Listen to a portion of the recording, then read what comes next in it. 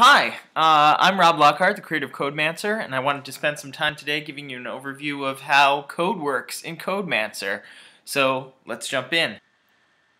So before we get started, I just want to explain some of what you're seeing on the screen. Uh, this is Aurora. She's the main character of Codemancer, and this is her familiar that she's riding. You'll get a choice of three familiars when you start to play the game. Um, and she lives on this hex grid of a place. Um, or at least that's where the gameplay happens. You'll have to forgive some of this art is not done by artists, some of it's placeholder, just done by me. And this on the left side is your uh, magical tablet that you'll use to uh, help control your beast. So, I'm just going to describe a little bit about how to move around within Codemancer. There's a, there's a lot to learn, but let's get started. So, the simplest possible thing you can do as a Codemancer is just get your familiar, which is the animal that Aurora is riding on right now to move forward. So I'm going to have go forward and then 1. So the, the numbers go from 0 up to 5.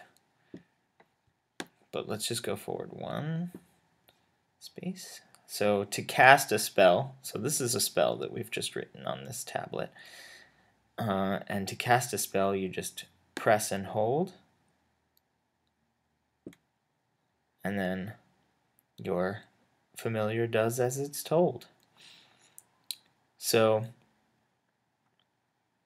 you can also, uh, let's discard this forward for now, and just turn right. All the turns are relative to the direction the animal and Aurora are facing.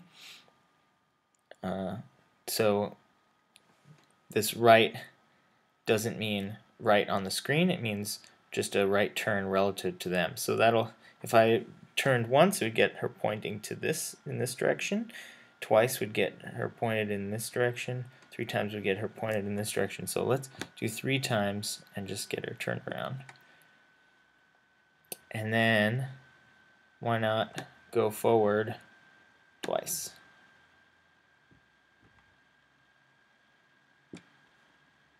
All right.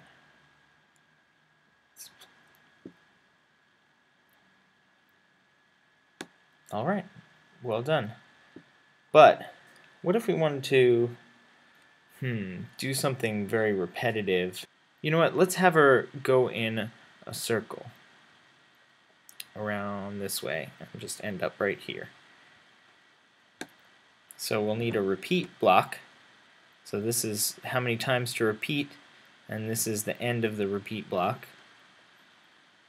So we'll have her repeat, go right, one, and then go forward, one. Okay. So this will only repeat twice. Let's repeat that five times. And she should move in a circle. Let's see.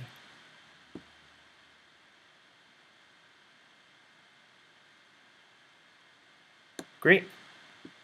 So that's just the basics of getting around. Uh, next time I'll cover how to attack and do some other more complicated stuff.